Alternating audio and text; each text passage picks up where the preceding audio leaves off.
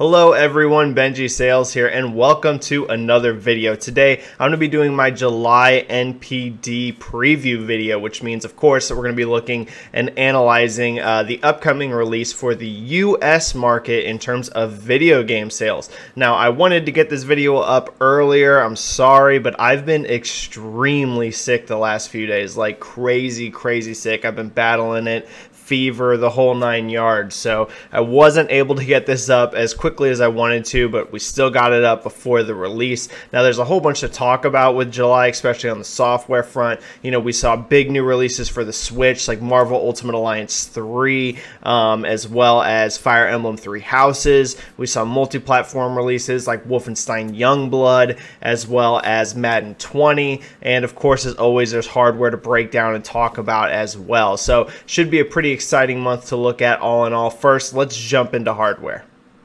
So when looking at hardware for July, it's going to be probably pretty much the main story that we've seen for most of the year. I know my hardware breakdown segments have not been that exciting of my NPD preview videos, but that's because frankly, we are in a very consistent pattern here and I expect that to stay pretty much somewhat the same, except for there is one interesting thing uh, to break out here that I noted last month and which did actually come true. And that is that the Switch has started to slow down in terms of its year over year gains, right? So we saw through the first chunk of the year, you know, Switch was up by these really big double digit percentages um, each month. You know, it was showing huge growth year over year. Last month, though, I did note that while I expected it to be up year over year, it was only going to be, you know, slightly, that, that it was going to be harder to be up by a large margin year over year. And I think that we're going to see a little bit of the same of that again this month, despite, you know, some some big releases. Uh, Switch did actually pretty good last summer, like like it was selling pretty strong, and I think we see the same thing here again. So I think we do see it up year over year, but I'm not expecting like these massive, huge, you know, type gains that we saw in some of these other earlier months of the year. I think they're going to be a little bit smaller. So up Switch year over year, number one selling console for the month, but not like crazy, you know, huge boosts. Um, in terms of PlayStation and Xbox, again, same story that they've been on this entire year, down year over year. Um, Xbox for sure by double digit percentages by a pretty good amount. PlayStation, I think, is going to be down by a pretty large margin as well, but it did get a uh, price cut pretty much nationwide, right? You saw it at pretty much all the major retailers GameStop, Target, Best Buy, etc., all had the Slim for $249.99 instead of $299.99. And you know, as we've been talking about throughout these videos, um, you know, this entire year, Sony's been very, very conservative in terms of price cutting and price promotions. And this is really the first time we've seen a really wide, really large price drop on the system. So I do think that is going to help because you know, as I noted during Days of Play, uh, you know, it was just the Pro that was discounted, right? It wasn't the Slim. Slim. There was a new bundle for the Slim, but it didn't get a price drop on it. It was just the Pro. This is the first time we see the Slim really get super wide price drop. So I think that that might help, uh, you know, mitigate its drop year over year. It is going to still be down. I don't think you're going to see it flat or up year over year, but I think out of the two between Xbox and PlayStation, you're going to see Xbox with a larger decline than what Sony is going to experience. So I think, you know, to, to sum it up, Switch number one, slight increase year over year, PlayStation 4 in second place um, with a drop year over year, but maybe not nothing crazy, right? No, like 30, 40% drops. I don't think we're going to go that high on PlayStation.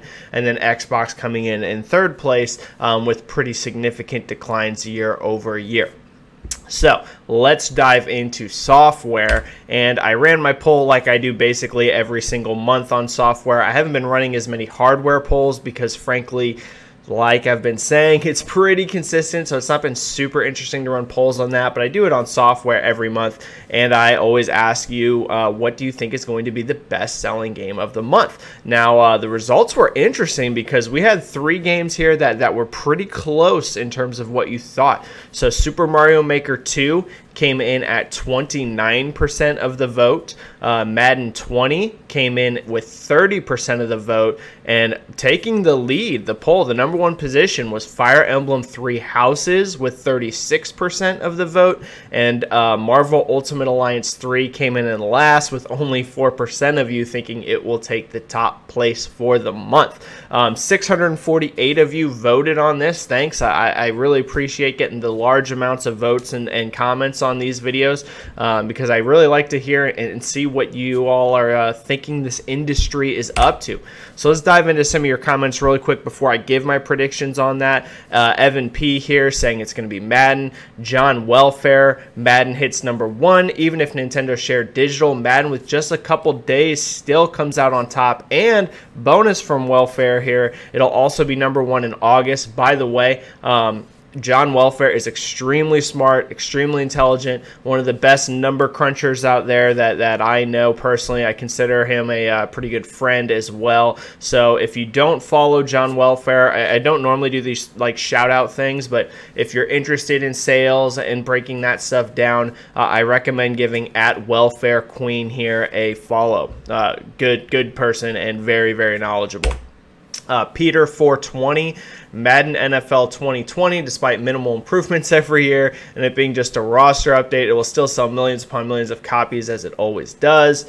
Falcon box, I just want to say Madden, but if I remember correctly, only the expensive Superstar Edition came out in July, while the standard was August 2nd. And then Zdark here, uh, very astute point. Um, August 2nd is actually part of July tracking this year. So it's only going to have a few days between the Superstar and the regular edition, but Madden, both versions uh, are included in NPD this year. Very important to note. It's not just the Superstar. You'll also have a little bit of the regular edition. Uh, Dom's playing here, another another great, very intelligent uh, salesperson.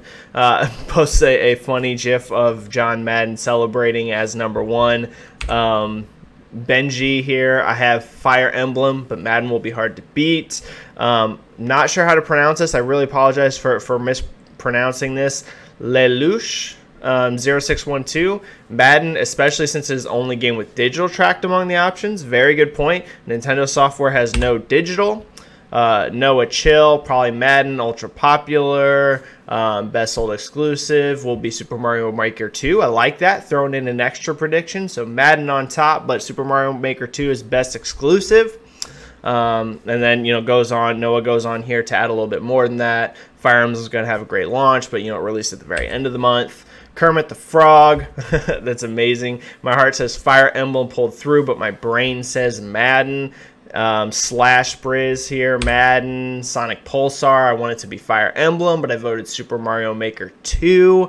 Uh, Matt, my heart wanted to say Fire Emblem, but I can't imagine it's not Super Mario Maker 2 or Madden, so I voted Mario Maker. And finally, last comment here that I'm including West Egg. If it's not Madden, it would be a massive upset, but it will probably be Madden. Still excited to see some PR on Fire Emblem. Thanks everyone for your comments. I like to include your thoughts on my videos as well because a hell of a lot of you are really, really smart. And, you know, you guys help support me. I want to help support you. So getting your name out there and your thoughts as well, hopefully it'll get y'all some more followers and, and, you know, help spread the word about the things that you do as well. So let's break break it down, right? What what am I expecting on software? What are my predictions? What are my expectations? Well, you know, there's a lot to dive into. First of all, let's just kick it off with what I think is going to be number one for the month, and that's going to be Madden 20. Yes, I know Madden had only a very short amount of time of tracking, but Madden is absolutely enormous. And as you know, other users pointed out in their comments, it's also the only version that, the only game at least out of these major new releases that's going to include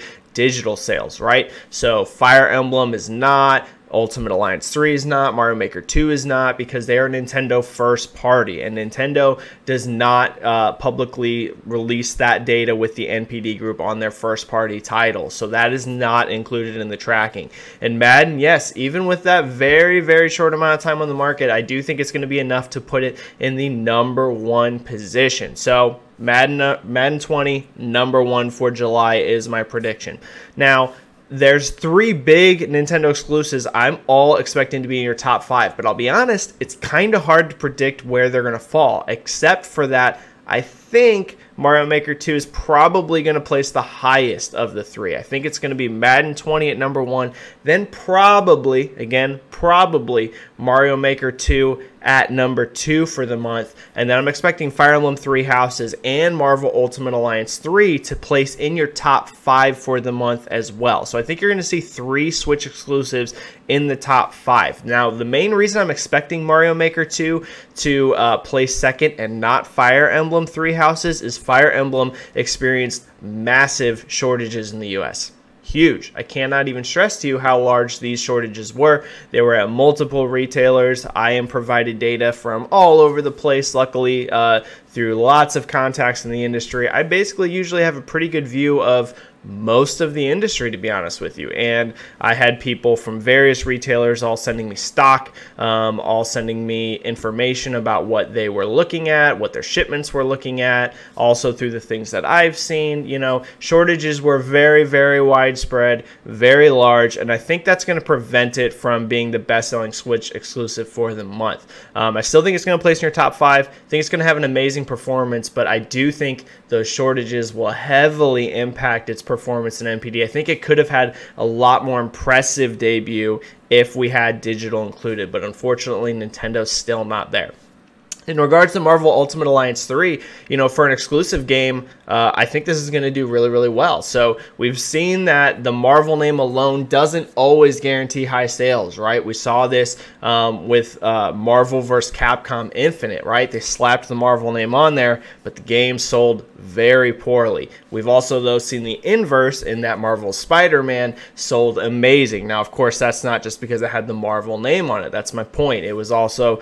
that Insomniac Games delivered an incredible experience. The game's amazing, marketing was on point, etc., etc. So, in other words, the Marvel name definitely helps, the IP definitely helps, but at the end of the day, it still has to be a really good game with really good marketing that people want to play, right? And Marvel Ultimate Alliance 3 did not have the best marketing, um, but it's had really great word of mouth. And from what I saw on my end, it was showing pretty good legs throughout the month, too, uh, throughout the tracking that's included at So I am expecting this to do very well for an exclusive, for just being on one platform, right? Just on Switch. Uh, I think it's going to do really well for itself. So still in that top five, you know, where exactly, like I said, Mario Maker, Fire Emblem, and Marvel shake out. Not 100% sure on that, but I do expect all three of them in your top five and all to be huge successes for Nintendo. Rounding out the top five, I think is going to be Grand Theft Auto 5. It had the huge new update with the casino, and that game just always sells well. So in these summer months where you don't always have like, you know, super, super huge games, even though we had some pretty big ones this month, uh, I do expect Grand Theft Auto 5 to probably place in your top five as well. Um, in terms of Wolfenstein Youngblood, from what I've seen, and again, I don't see everything, but I do see a lot. From what I've seen, the game is off to a soft start. Another in a long string of Bethesda titles to not exactly have the best um, sales. So uh, I expect this to be in your top 20. I do not expect it to be in your top 5. And I'll go out on a limb and say I don't expect it in your top 10. Or if it is in your top 10, very low. Uh, I'll be shocked if it's above like an 8, right? If it comes in a 9 or 10, I'll be like, okay, I can see it. Um, but I'd be shocked if this is above 8, right? If this is like number, if this is top 5, I don't buy it. It's not going to be top 5. But if it's like seven even i'd be shocked um, the game just again this is a revenue based chart and it is a cheaper game and also it doesn't seem to have been generating a ton of sales so that one will very much surprise me if it's super high on the list other things to note, I'm sure you'll see probably Rainbow Six Siege popping in there with great legs, Minecraft popping in there with great legs. And yeah, I think that's pretty much going to sum it up. Oh, Dragon Quest Builders 2 uh, hit this month. Don't expect a lot from it. Um, top 20 probably, but uh, again, I'm not expecting this to be a high ranking top 10 title. So to sum it up, final summary of software for the month Madden 20, number one for the month, I believe. Number two, probably Super Mario Maker 2. And the rest of that top five, I'm expecting Fire Emblem 3 Houses, Marvel Ultimate Alliance 3, and Grand Theft Auto 5. Not exactly sure the order of that, just because it's kind of tough with Fire Emblem shortages. I'd be a lot more for sure on where I would place each one of those if it wasn't for the Jurassic shortages, but I think that's your top five. And a soft start for Wolfenstein Youngblood, and uh, you know, pretty mediocre launch for Dragon Quest Builders 2 as well. All right, everyone, that's going to do it for my July NPD preview video. Thank you so much for watching, as always. Uh, if you liked the video, make sure you hit that like and subscribe. Helps the channel out a bunch. I am Benji Sales. I usually talk about video game sales and things like that, but I also talk about gaming in general as well because, hey, I freaking love video games. Follow me on Twitter at Benji Sales if you don't already. And uh, thanks again for tuning in, everyone. I will see you in the next video.